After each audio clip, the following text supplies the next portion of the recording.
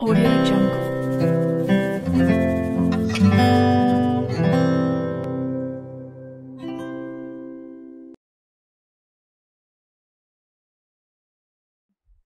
Hello, કેમ છો બાળકો મજામાં? ગુડ મોર્નિંગ સુપ્રભાતમ. આપણે ફરીથી આજે નવા વીડિયો લેક્ચર સાથે મળીએ છીએ.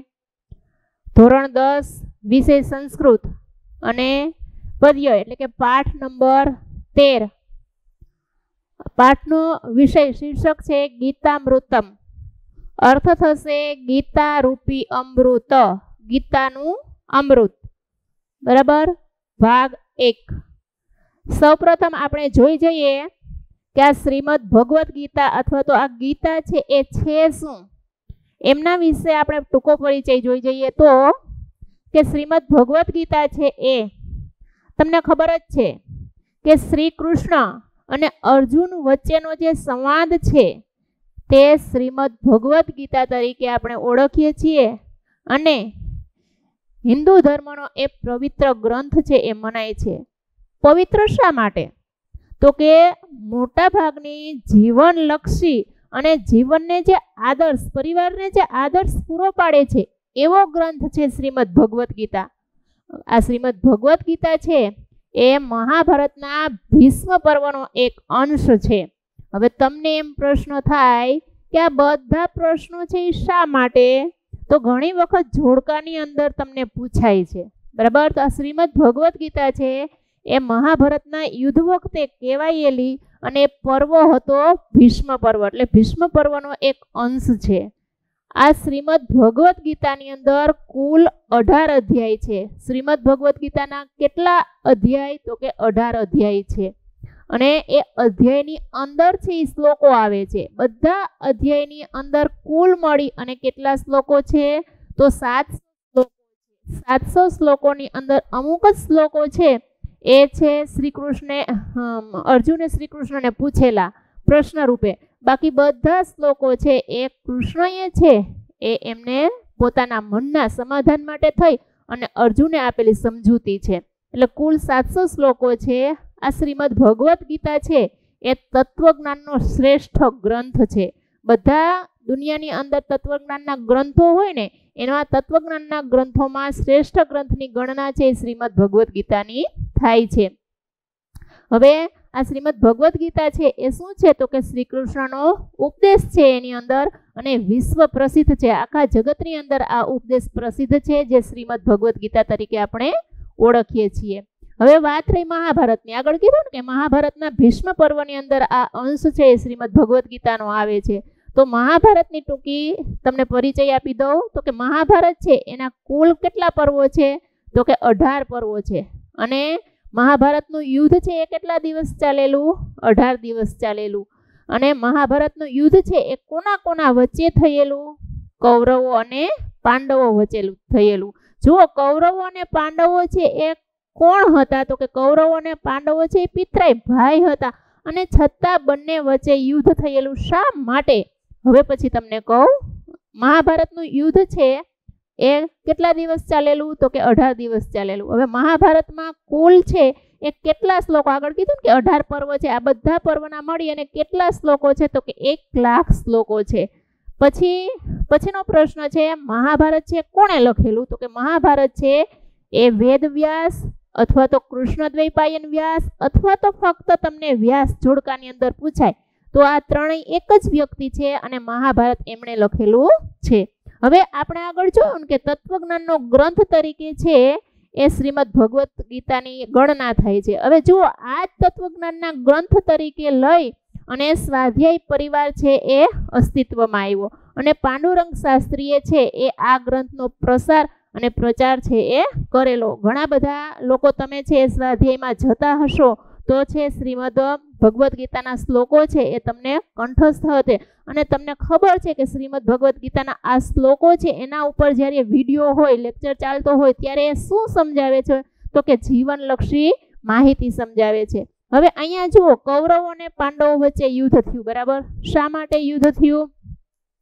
તો કે પાંડવો છે એમને કૌરવો પાંચ ગામડાએ નહીં. એણે એમ કીધું, જ્યારે શ્રી કૃષ્ણ સંધિ કરવા ગયા, ત્યારે કે તમે પાંચ ગામ એમને આપો તો એ રડી ખાશે. તો કૌરવો અને એમાં ખાસ કરીને યુધિષ્ઠિર પુત્ર દુર્યોધન એમણે એમ કહ્યું કે પાંચ ગામડા તો શું? પરંતુ હું એક સોયની અણી જેટલું પણ આપવા માટે તૈયાર નથી.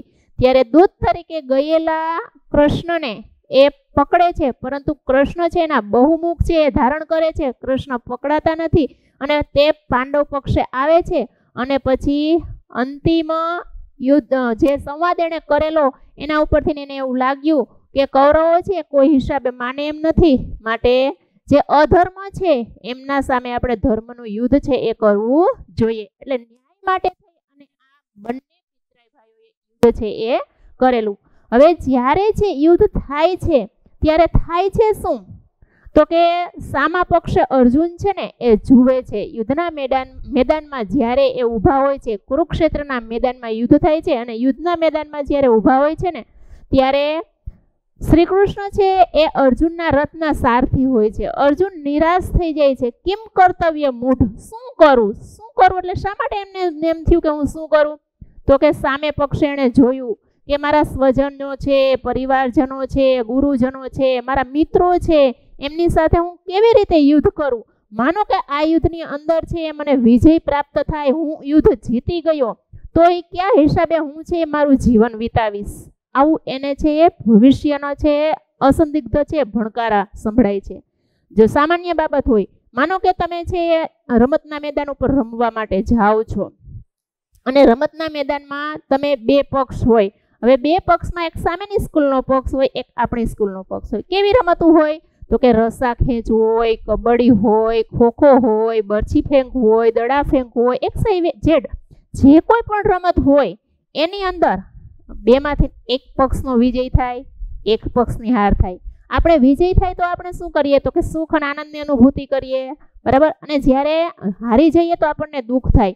હવે જુઓ, આપણી સ્કૂલ વચ્ચે હરીફાઈ નથી, બીજી સ્કૂલ વચ્ચે હરીફાઈ છે તો આપણને એટલું દુઃખ થાય. તો આ હરીફાઈ કોની વચ્ચે છે? તો કે બંને પિતરાઈ ભાઈ વચ્ચે છે, પરિવારજનો છે, જેની સાથે લોહીનો સંબંધ છે, એની સાથે છે. હવે એની સાથે યુદ્ધ કરીને માનો કે અર્જુન જીતે, તો એના પરિવારજનો કેવી રીતે જીવી શકે? એમને એમ થાય છે કે હું કૌરવના યુદ્ધની નદીઓ વહેડાવી અને જ માનો કે હું જીતી ગયો, તો પણ હું શાંત થઈ શકવાનો નથી. ત્યારે શ્રી કૃષ્ણ છે, એને સાંત્વના આપતા આ જે શ્રીમદ ભગવદ્ ગીતા છે, એમનો એક નાનકડો અંશ છે એ કહે છે. એમાંથી સાત શ્લોકો છે, આપણે જુદા જુદા અધ્યાયમાંથી ભણવાના છે, તો એમના થોડાક શ્લોકો છે આપણે જોઈએ. અહીંયા પહેલો શ્લોક આપેલો છે, ન જાયતે મ્રિયતે વા કદાચિત નાયમ ભૂતવા ભવિતાના અજો અયમ પુરાણ ન હન્યતે હન્યમાને શરીરે. આ શ્લોક છે, એ બીજા અધ્યાયના વીસમો છે. કુલ અધ્યાય છે, એમના અઢાર છે, એમાંથી બીજા અધ્યાયનો વીસમો શ્લોક છે. એમણે શું કીધું શ્રી કૃષ્ણએ? આત્માની અમરતા બતાવી છે. માણસ છે એ મૃત્યુ પામે તો એને ખૂબ દુઃખ થાય છે. પરિવારજનનો એક સભ્ય છે, એ આપણા પરિવારમાંથી વયો જાય અથવા તો સ્વર્ગ ગતિએ સીધાવે તો આપણે ખૂબ છે શોક અનુભવીએ છીએ, દુઃખ અનુભવીએ છીએ. ઘણા બધા દિવસ સુધી આપણે જ્ઞાની અનુભવીએ છીએ. અહીંયા એ ગ્લાની ન થાય એટલા માટે થઈ અને કે છે, અર્જુનને ન જાય તે મ્રિયતે વા કદાચિત કોણ? આત્મા શું કરે છે? ન જાય તે જા એટલે જન્મવું. એટલે કે ન એટલે ન જન્મવું. એ જન્મતો નથી અને વા અથવા તો ન મ્રિયતે મરતો પણ નથી. કદાચિત ક્યારેય પણ. આત્મા છે, ક્યારેય જન્મતો નથી અને ક્યારેય મરતો નથી. અને ન અયમ ભૂતવા ભવિતા વા ન ભૂયહ તે ભૂતવા એટલે થઈને ભૂયહ એટલે ફરીથી ભવિતા એ થશે એવું પણ ન, નથી. એ થઈને ફરીથી થશે એવું પણ નથી. શા માટે? તો કે ત્રણેય કાળની અંદર સરખો જ છે, મળતો તો નથી. એટલે વર્તમાન કાળ હોય, ભૂતકાળ હોય કે ભવિષ્યકાળ હોય, ત્રણેય કાળની અંદર એ સરખો જ રહે છે. એટલે કે જે થઈને થશે એવું પણ નથી. અજો નિત્ય શાશ્વતો અયમ પુરાણો. આ કેવો છે? કે અયમ એટલે આ પુરાણો એટલે કે પુરાણો છે, સાત્વ શાશ્વત એટલે કાયમી છે. અને અજો નિત્ય કાયમી એ કેવો છે? અજહ એટલે જન્મ ન લેનારો છે. કારણ કે કાયમી જન્મ ન લે એટલે કે જન્મી ચૂક્યો છે. ન હન્યતે હન્યમાને શરીરે. આ શરીર છે, આ આપણી કાયા છે. એ હન્યમાને એટલે કે હણાઈ જતા, નાશ પામતા. અથવા તો મૃત્યુ પામતા ન હન્યતે એ હણાતો નથી. એટલે કે એ મૃત્યુ પામતો નથી. હું તમને થોડોક સ્પષ્ટ અર્થ આપીને કહું છું. તમને નવનીતની અંદર હણવું એવો શબ્દ આપ્યો હણવાનો અર્થ થશે મૃત્યુ પામવું. એટલે કે આ શરીર છે એ મૃત્યુ પામે તો પણ એ મૃત્યુ પામતો નથી. તો આપણે એનો અર્થ શું કરવાનો? તો કે આપણે આત્માની અમરતા માટે આપણે એને સમજવું પડે ડિટેલમાં. તો હું તમને એક સામાન્ય ઉદાહરણ આપું કે આપણે છે એ રોજે નાઈ સ્નાન કરી અને નવા નવા વસ્ત્રો છે ધારણ કરીએ. એટલે કે ધોયેલા કપડાં છે એ ધારણ કરીએ. હવે આ આપણું કપડું છે એ માલું થઈ જાય તો આપણે શું કરીએ છીએ? નાઈ સ્નાન કરી અને એને બદલાવી નાખીએ છીએ. તો હવે આપણું આ શરીર છે એ વૃદ્ધ થઈ જતા આત્મા શું કરે છે? તો કે એ શરીર છોડી અને અન્ય શરીરમાં જતો રહે છે. આ છે આત્માની અમરતા. એટલે કે છે ત્રણેય કાળમાં બધી ઋતુમાં એ સરખો જ રહે છે. એને કોઈ ઉંમર લાગુ પડતી નથી. શરીરને છે ઉંમર લાગુ પડે છે. આપણે જુદી જુદી શરીરની અવસ્થાઓ કરેલી છે. એ બાલ્યાવસ્થા હોય કે પછી યુવાવસ્થા હોય કે પ્રૌઢાવસ્થા હોય કે પછી સાવ છે, વૃદ્ધાવસ્થા હોય. ઘણી બધી અવસ્થાઓ, ઘણા બધા આશ્રમો એવા આપણે વિભાગ પાડીએ છીએ જીવનની અંદર. જ્યારે આત્માને કોઈ એવા વિભાગ હોતા નથી. એટલે આ શાશ્વત સત્ય છે કે કોઈ ઘરનું સ્વજન છે એ મૃત્યુ પામે તો આપણે શોક ન કરતા, એ આત્માને કાયમ માટે શાંતિ મળે અને આત્મા છે જ્યાં હોય, નવા સ્વરૂપમાં ત્યાં એ સુખી થાય, એવો છે આપણે છે એ શાંતિ સંદેશ પાઠવવાનો હોય છે. ત્યાર પછીનો બીજા નંબરનો શ્લોક છે, જાતસ્ય હિ ધ્રુવ મૃત્યુ, ધ્રુવમ જન્મ મૃતસ્ય તસ્માત પરિહાર્યાર્થે ન ત્વમ અર્હસી. અને આ શ્લોક છે એ બીજા અધ્યાયનો સત્યાવીસમો શ્લોક છે. હવે અહીંયા છે એ કહી દીધું શું? તો કે જે જાતસ્ય હિ ધ્રુવ મૃત્યુ, જાતસ્ય એટલે કે જન્મેલાનું. ખરેખર મૃત્યુ એટલે મૃત્યુ, ધ્રુવ એટલે નિશ્ચિત છે કે નક્કી છે. જે જન્મેલા છે એ મૃત્યુ નક્કી છે અને મૃતશ્ચ અને ચ અને મૃતશ્ચ એટલે મરેલાનું, જન્મ ધ્રુવમ જન્મ નક્કી છે. જો બાળકો, જે છે એ જન્મેલા છે એનું મૃત્યુ નક્કી છે ને મૃત્યુ પામેલા છે એનો જન્મ નક્કી છે. આગળ આપણે કીધું ને કે જે આ શરીર છે એમાંથી દેહ નીકળી જતા, એ શરીરમાંથી પ્રાણ આત્મા નીકળી જતા, એ બીજા દેહમાં આવી જશે. તો અહીંયા કીધું કે એ છે જન્મ છે એનો મૃત્યુ છે એનો જન્મ છે ચોક્કસ છે.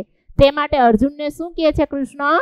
તસ્માદ તે માટે અપરિહાર્યાર્થે જે આ બાબત છે ટાળી ન શકાય તેવી છે, માટે તું શોચી તું અર્હસી. અહીંયા આગળ ન લગાડી દો ક્રિયાપદને, એટલે તું શોક ન કર. અહીંયા શોક કર અથવા ન આગળ લગાડજો એટલે તે બાબત માટે તું ચિંતા ન કર અથવા તો શોક ન કર.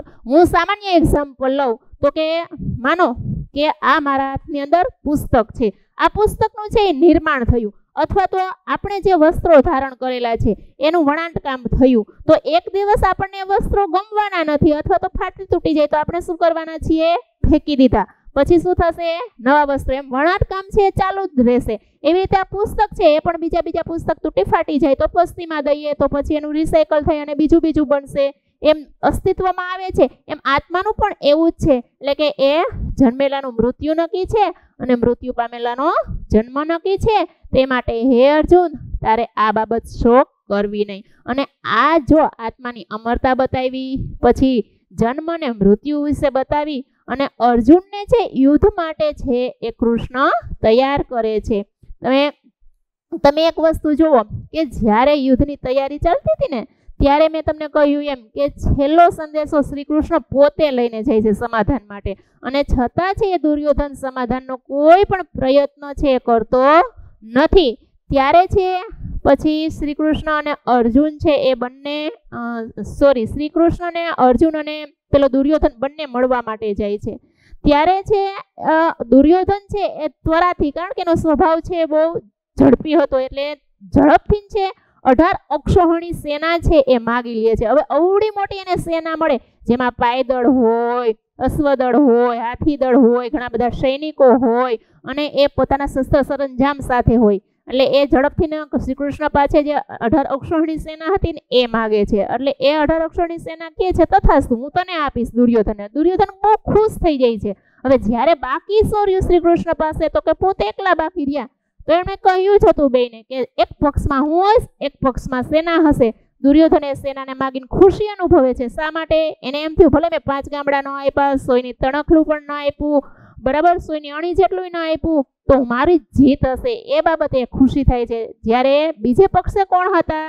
તો કે બીજે પક્ષે અર્જુનના સારથી શ્રી કૃષ્ણ હતા અને માટે આ બધું કહી અને એને કર્તવ્ય, અકર્તવ્ય, ધર્મ અને અધર્મ એ વિશે સમજાવી અને શ્રી કૃષ્ણ છે અર્જુનને યુદ્ધ માટે તૈયાર કરે છે. હવે આ બાબત આપણે પણ જીવનની અંદર છે, ઉતારવા જેવી છે, સમજવા જેવી છે કે જેથી વારીને, જેથી કરીને આપણે પારિવારિક જે કલહ હોય એ ટળી જાય અથવા તો આપણે પરિવારની અંદર સારા છે એ આદર્શો છે એ ઉત્પન્ન કરી શકીએ. ત્યાર પછી કર્મ શું છે, કર્તવ્ય શું છે, શું શું કાર્ય કરવું જોઈએ, એમના વિશે છે સમજાવે છે. કર્મણીએ વાધિકારસ્તે મા ફલેશુ કદાચનન, મા કર્મ ફલ હેતુર્ભુઃ માતે સંગોસ્ત્વ કર્મણિ. હવે આ છે એ બીજા અધ્યાયનો સુડતાલીસમો શ્લોક છે. અહીંયા શું કીધું? કે ફક્ત ને ફક્ત કર્મ જ કરીએ જા. ફળની આશા તું રાખીશ નહીં. આગળ મેં તમને કીધું ને કે સ્વાધ્યાય પરિવારના જે પાંડુરંગ શાસ્ત્રી છે, તેણે જે મુખ્ય નિષ્કર્ષ છે આની ઉપર ફોકસ કરેલો છે કે વ્યક્તિએ ગીતા સંદેશ શું કહે છે? મધ્યવતી ગીતાનો વિચાર શું છે? તો કે આ છે. માણસે છે ને એ કર્મ કરવાનું છે. ફળની આશા રાખવાની જ નથી. હવે તમને એમ થાય કે કર્મ કરીએ ને ફળ ન મળે તો વ્યક્તિ નાસીપાસ થઈ જાય પણ ચોક્કસ એક દિવસ તો એનું ફળ મળે જ છે. તમે ગમે એ એંગલથી પરિશ્રમ કરો. માનો કે તમે ભણો છો, બરાબર? અત્યારે વીડિયો લેક્ચર તમે સાંભળો છો અને ભણો છો. પહેલાં તમે જ્યારે આપણે કોરોના નહોતો, ત્યારે આપણે શું કરતા તો ક્લાસની અંદર આપણે ફેસ ટુ ફેસ મળીને ભણતા હતા. હવે તમારે જે આ પુરુષાર્થ કરવા છો, એ થોડોક વધારે છે. ઓલા ફેસ ટુ ફેસ મળતા હતા એટલે પ્રશ્નોનું સમાધાન થતું હતું. અત્યારે તમને ઘણા બધા પ્રશ્નો થતા હશે, પણ તમે તમારા એંગલથી વિચારી, તમારી રીતે એ પ્રશ્નોનું સમાધાન કરવા પ્રયત્ન કરતા હશો. તો વધારે પુરુષાર્થ થયો આ વધારે પુરુષાર્થ કરશો ને, એટલું તમને પરિણામ છે, થોડુંક વધારે મળશે. એટલે કરેલું ક્યારેય ફોગટ જતું નથી. કર્મણીય વાધિકાર હશે કર્મમાં જ તારો અધિકાર ને અધિકાર તે એટલે તારો અધિકાર અધિકાર છે. કર્મમાં જ તારો અધિકાર છે. માં ફલે શું કદાચન કદાચન એટલે ક્યારેય પણ માં ફલે શું ફળમાં, માં એટલે નહીં, ક્યારેય પણ ફળમાં નહીં. એટલે ફળની આશા ન રાખતો. એ કુદરત છે એ આપી દેશે. અને જેટલું કરશો એટલું શું કરવાનું? શ્રી કૃષ્ણ અર્પણ મસ્તુ. શ્રી કૃષ્ણને આપણે અર્પણ કરી દઈએ. જેટલું અર્પણ કરી દઈએ, એટલું આપણે પ્રત્યક્ષ પાછું મળે છે. જેમ કે નાના બાળકને આપણે સ્નેહ દઈએ તો નાનું બાળક એ બમણા સ્નેહથી આપણી પાસે આવશે. એ જ ભાવથી આપણે કૃષ્ણને અર્પણ કરવાનું છે અહીં. મા કર્મ ફલ હેતુર્ભુ એટલે કે ફળ છે એ ન કરનારો ક્યારેય ન થઈશ. માતે સંગો અસ્તિ કર્મણી. આ કર્મ ન કરવામાં તારો સંગ ન થાવો. એને શું નથી કરવાનું? તો કે કર્મ કરવાનું છે, ફળની આશા નથી રાખવાની. ફળ વગર કર્મ નહીં કરવું એવું પણ કરવાનું નથી. માટે કર્મ ન કરવામાં તારો સંગ ન થાવો. હવે જુઓ બાળકો, અહીંયા છે આ ક્રિયાપદ છે, જાયતે, મ્રિયતે, હન્યતે, બરાબર? આ શરીરે છે એ વિભક્તિનું છે, શરીરે પૂછાઈ ગયેલું છે આ અને ત્યાર પછી આ પણ વિભક્તિનું છે, જાતસ્ય, મૃતસ્ય, બરાબર? અને પછી આ અર્હસી છે એ ક્રિયાપદ છે. બરાબર? આટલા ક્રિયાપદો અને આ જે શરીરે જાતસ્ય અને મૃતસ્ય એ વગભક્તિના જે સંજ્ઞાના રૂપો છે, એ પણ તમે તૈયાર કરજો. ફલે શું એ પણ સંજ્ઞાનું રૂપ છે. આ શરીરે છે સપ્તમી એક વચન છે. ફલે શું છે સપ્તમી બહુવચન છે. પછી બે છે જાતસ્ય અને મૃતસ્ય, એ ષષ્ઠી એક વચનના છે. જેટલા જેટલા પૂછાય એટલા ક્રિયાપદ અને સંજ્ઞાના રૂપો કીધા. ત્યાર પછી તમને હું કરાવું છું સંધિ. એટલે અહીંયા સંધિ છૂટી પડશે. ન વત્તા અયમ. બરાબર સાંભળજો અને લખજો. ન વત્તા અયમ. પછી શાશ્વતો અયમ. શાશ્વત પ્લસ અયમ. બરાબર? પછી એમ કીધું કે ન પુરાણો ને અજો નિત્યમ અજો નિત્ય એટલે અહીંયા છે એ પણ વિસર્ગ સંધિ થઈ છે, એટલે જે આ છે માત્ર એને કાઢી અને વિસર્ગ લગાડી દેવાના, એટલે અજહ વત્તા નિત્યમ. ત્યાર પછી તસ્માદ પરિહાર્યાર્થે તસ્માદ વત્તા અપ, તસ્માદ તો આવશે, તો ખોડો આવશે. અપરિહાર્યાર્થે વત્તા અર્થે. ત્યાર પછી સોચિતુમ અર્હસી. સોચિતુમ અહીંયા તુમ પ્રત્યય આવ્યો, એટલે કયું કૃદન થશે? તો કે તુમ પ્રત્યે એવું એટલે હેત્વર કૃદમ, એટલે સોચિતુમ પ્લસ અહીંયા શું થશે? અર્હસી. બરાબર? એવી જ રીતે અહીંયા એક કૃદંત આવ્યું છે, ભૂતવા. અહીંયા ત્વા પ્રત્યે એટલે કયું કૃદંત થશે? ત્વા એટલે સંબંધક ભૂત કૃદંત. અને ત્યાર પછી સંધિમાં આગળ વધુ તો કર્મણીએ વાધિકારસ્તે. કર્મણી વત્તા વા વત્તા અધિકાર વત્તા તે. અને ત્યાર પછી અહીંયા આવશે કર્મ ફલ હેતુ અહીંયા વિસર્ગ સંધિ થશે, વત્તા ભૂ. ત્યાર પછી આગળ સંગોસ્ત્વ કર્મણી. સંગહ પ્લસ અસ્થિ, પ્લસ ત્વ અને કર્મણી. કર્મ ન કરવામાં તારો અધિકાર ન થવો. એટલે અહીંયા આપણે ભાષાંતર જોયું. પછી કૃદંત જોયા, સંધિ છોડવાના પોઈન્ટ જોયા અને ભાષાંતરની સાથે સાથે મેં તમને શબ્દના અર્થ પણ સમજાવ્યા. તો આ ત્રણેય શ્લોક છે, એમનું ભાષાંતર છે લખીને તૈયાર કરજો. જ્યારે બીજો ભાગ છે, એ પૂરો થાય, ત્યાર પછી તમે શબ્દાર્થ અને નાના નાના પોઈન્ટ સમજાવ્યા, એ બધું લખજો. બરાબર? એકથી સાત શ્લોક છે, એ આપણે ભણવાના છે. અને જે આ નાના નાના પ્રશ્નો કરાવ્યા એ બધા પ્રશ્નો છે એ પાઠની શરૂઆતમાં લખી લેજો કે જેથી કરીને તમને પરીક્ષાની સરસ મજાની તૈયારી છે એ કરી શકો. બધા જ છે સરસ મજાની તૈયારી કરો. એ માટે all the best. Thank you.